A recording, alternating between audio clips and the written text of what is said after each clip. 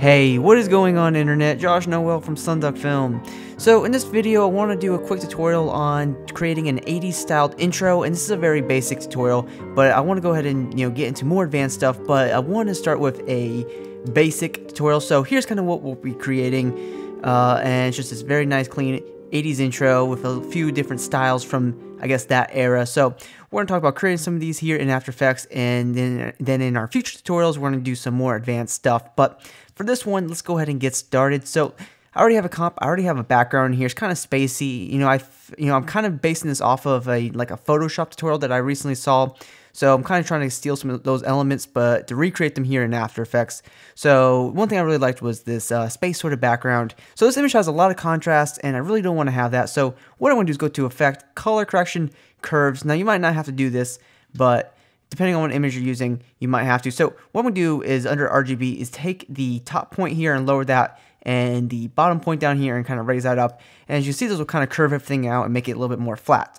So the first thing we're going to do is go up to the text title tool and um, I'm using the font Pack Font, um, but what you should do on your own time, go to Google and search up some 80s font styles. There's a ton out there and a lot of great options, but for this tutorial, I'm going to use the Pack Font, and we're going to go in here and we're going to type in some sort of text. I'm just going to use uh, throwback.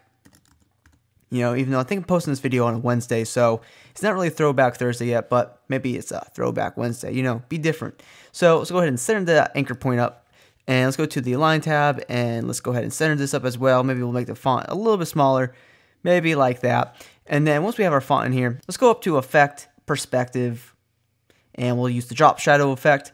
And what we'll do is go to the, you know, make sure the soften set at zero. Let's go ahead and increase the distance by a little bit right now. And let's go to the drop shadow color and let's set this to like maybe purple or something, you know, purple and I guess uh, a light blue seems to be the style. And let's just set the uh, opacity to 100% and maybe we'll bring the distance a little bit closer.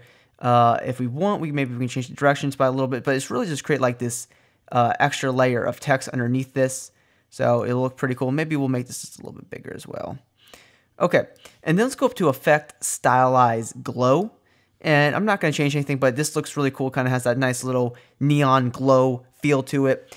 And then once this is all done, let's go to the uh, polygon tool. Make sure nothing is selected here you know, maybe you need to lock your background, but let's go in here. Let's bring up the title safes and let's kind of have this, you know, created right in the center. I'll hold down Command and Shift or Control and Shift on a PC, and we'll just draw draw out a perfect sort of polygon like this. And let's go into Polystar 1, Polystar Path, and let's set the number of points to 3 to create a triangle.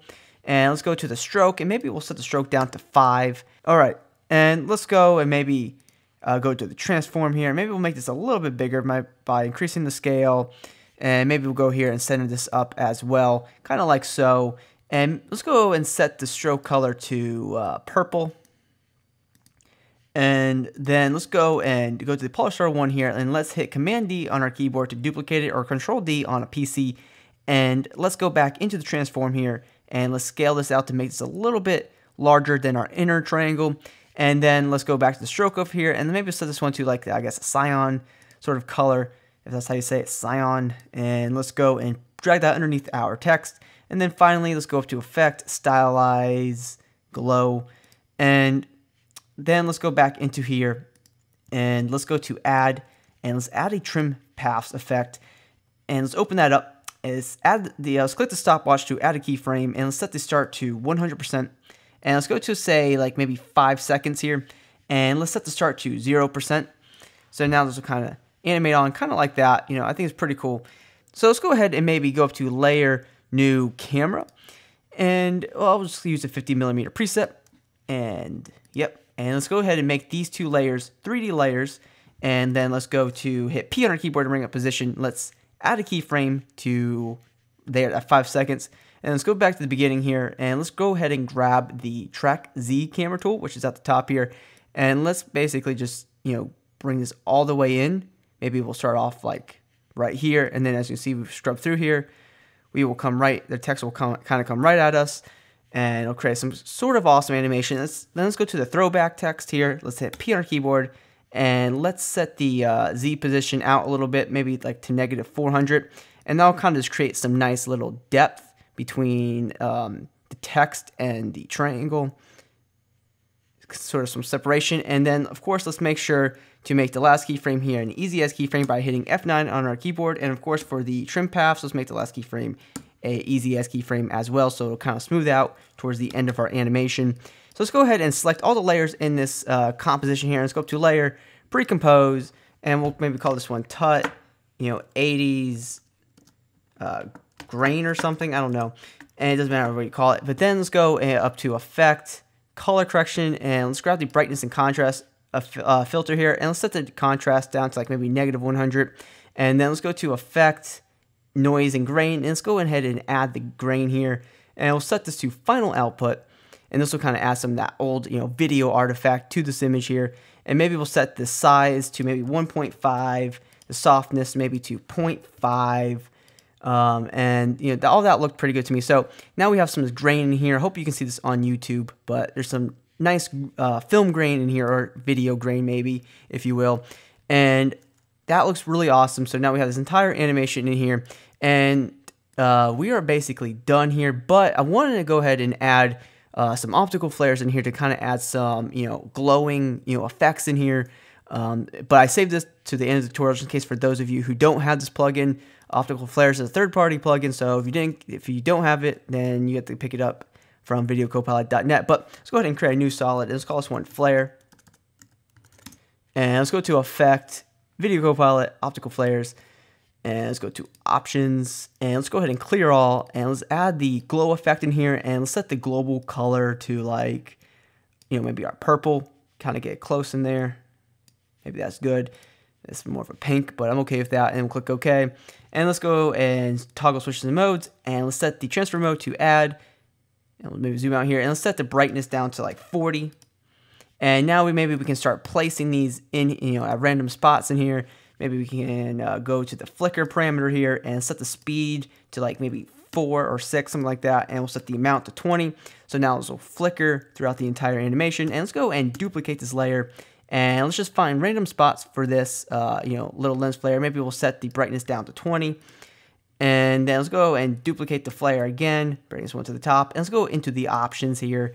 And let's change the global color to back to, I guess, a cyan, sort of light blue. I hope I'm saying it correctly, but let's go and click OK. And let's just go find a nice little spot for our uh, light blue lens flare here, or should I say, nice little glow. And let's set the brightness maybe down to 20. And let's go ahead and duplicate it again, or duplicate the blue flare. And let's just go ahead and find another nice place for it. Maybe we'll set this one down back up to 40. And let's go find maybe just one more spot. And I swear we'll be done with uh, the background flares here. And set that to 20. And then the last thing I want to take a look at is setting flares on the three points on this blue triangle here and make them, you know, react in 3D space. So what we're going to do is duplicate another blue flare here. And let's go ahead and grab the XY position crosshair and let's drag it to the top here. And maybe we should keep this at 40, maybe? Yeah, I think I'm good with 40. And then let's go to the source type and set this to 3D.